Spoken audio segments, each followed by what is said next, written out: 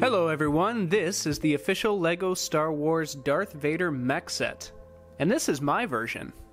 Right off the bat, I want to be clear that this is not a fair comparison. LEGO set designers have a budget that they need to stay within and durability and playability requirements they need to meet. If they were allowed to build something like this, I have no doubt they would. And without a doubt, they would do a much better job than I have.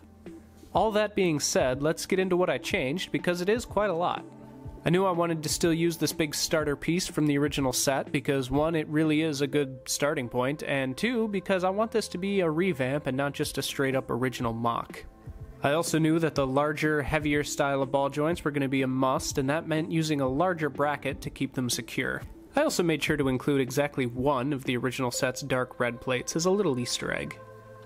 I kept the original chest piece for a cockpit, but closed up the sides around it, and I tried to still leave room for the minifig's cape, but it's not perfect. But really, I don't think this is any worse for the cape than the original cockpit design was, so I'm okay with it.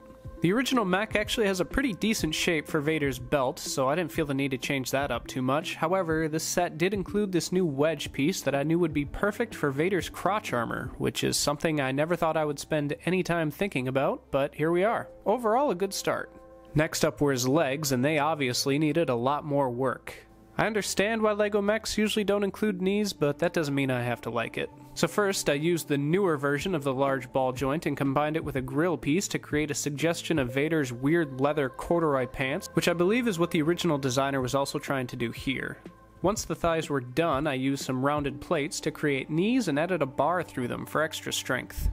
The shins I modeled after Vader's boots, believe it or not, and again, that new wedge plate came in handy for capturing that really smooth, pointed shape that they have.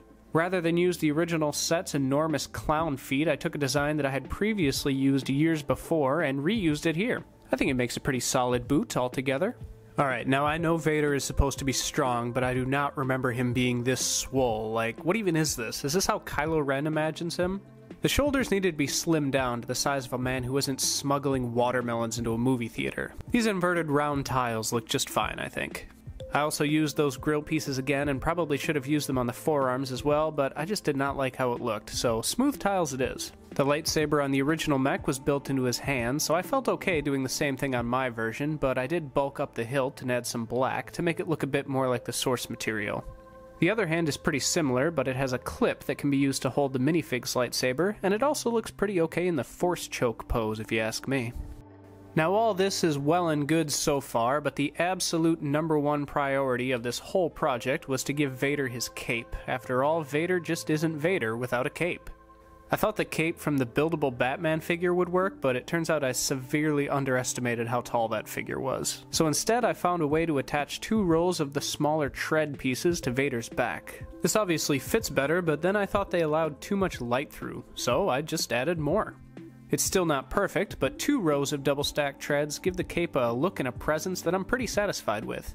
It also gives him a cape, which is more than the original did, so it is literally better than nothing. Of course, Vader's actual cape is much bigger than this and much less made of tank wheels, but since this is technically still a mech and not the actual guy, I can be okay with the cape looking more mechanical than cloth. And there he is. I started this project because I like mechs and saw a mech based set that I thought I could have some fun with. But as soon as it was finished, I was reminded that I actually really like LEGO Star Wars. Darth Vader is cool, man, and it makes me really happy to basically have my very own homemade action figure of him. He looks menacing, he poses pretty good, and in my opinion, his head only kinda looks too small for his body. And did I mention he has storage for his lightsaber? I left a room on his belt to hold onto the minifig hilt, and the blade is stored around his back in true LEGO Star Wars fashion. And that is my version of the Darth Vader LEGO Star Wars mech suit. I don't know, do I do the Stormtrooper and the Boba Fett after this? Because this one was pretty fun.